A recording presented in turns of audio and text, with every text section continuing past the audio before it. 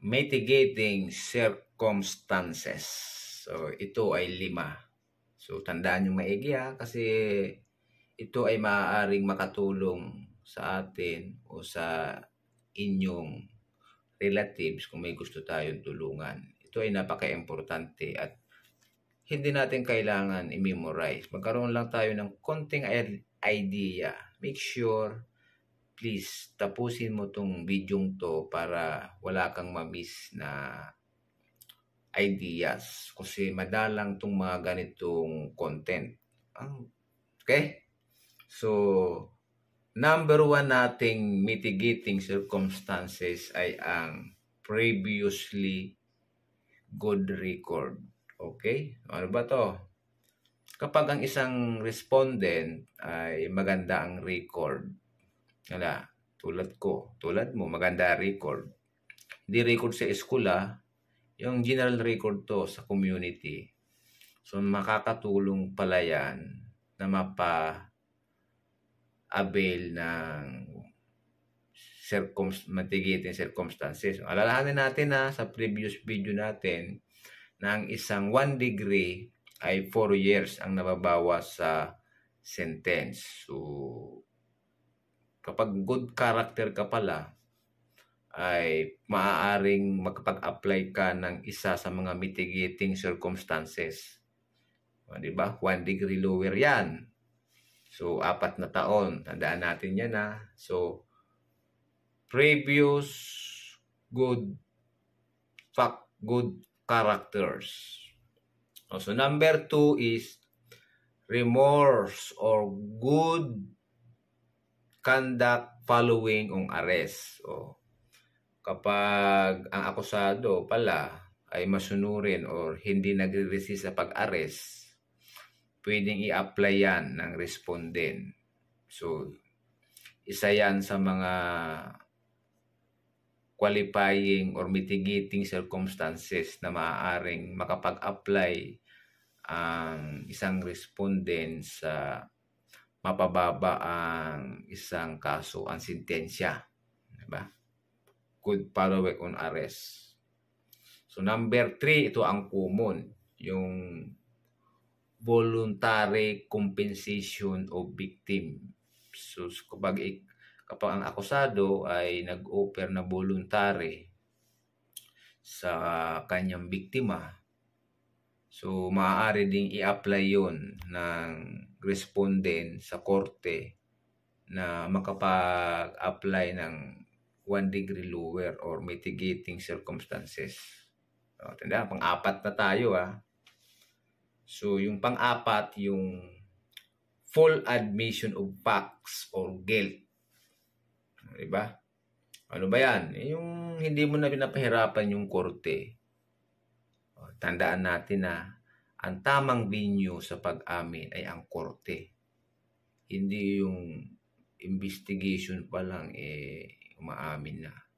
So, tagilid yon Maaring mapabaon yon So, sa court lamang doon ka makipag-bargain kung gusto mong mag-admit sa admission ito na may case-to-case basis na gagawin kapag sabihin naipit na talaga at malakas talaga yung kaso. So, full admission. So, isa yon sa mga nakakabawas sa sintensya. Okay? So, yung pangang lima, last na to, du duris or very young or old age ang or minor in the offenses. So, pag yung matanda, uh, pag sinabi nating matanda, ano ba ang tansya nyo? Uh, ah, 60 years old above. So, is considered matanda na or old age. Pag sinabi namang minors, ano, comment nyo sa baba. Below 18 sa mga nakaka sa mga gustong mag-assist, no? Yan. So, isa yun sa mga mitigating circumstances. Tandaan natin guys ha, kung mayroong mitigating circumstances, eh, mayroon namang aggravating. So, isusunod nating video yan, yung aggravating. So, sa bawat crime kasi guys, ay may kanya-kanyang aggravating. For example, sa ibang murder, sa homicide, may aggravating yan. So, pwedeng mapabaon. Ito naman, ang aggravating naman is kabaliktaran nito. Pwede yung sentensya ay madagdagan na 1 degree sa pag, pag tinawag na aggravating. O sa mitigating, bawa sa aggravating is dagdag. So, ganun yung opposite sila. Kaya susunod nating video, yun ang ibibideo natin. So maraming salamat, no? Siya nga pala, kung kailangan nyo ang aking serbisyo for assistant, PM kayo sa aking social media, Pulisya ko sa ating Facebook. At huwag kayong mag-alala, libre yan. Kung gusto nyo magbigay sa akin ng pangkape, so tatanggapin ko, okay lang naman yan wala namang masama doon. Pero bahala na kayo, walang presyo yan. Ang sa akin lang ay ma-assist kayo ng maayos. So, online call uh, from 9 a.m. Pagising ko sa umaga habang nagkakape ako hanggang alas 11 o alas 12. Doon nyo itapat yung tawag nyo. Please, uh, mag, mag-load naman kayo ah.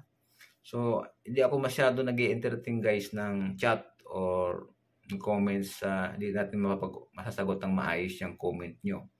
Kasi magiging limitado lang yung usapan natin. Unlike ng video call, so madali kayong makakapagpalitan, madali tayo makakapagpalitan ng message. So, medyo klaro. Okay?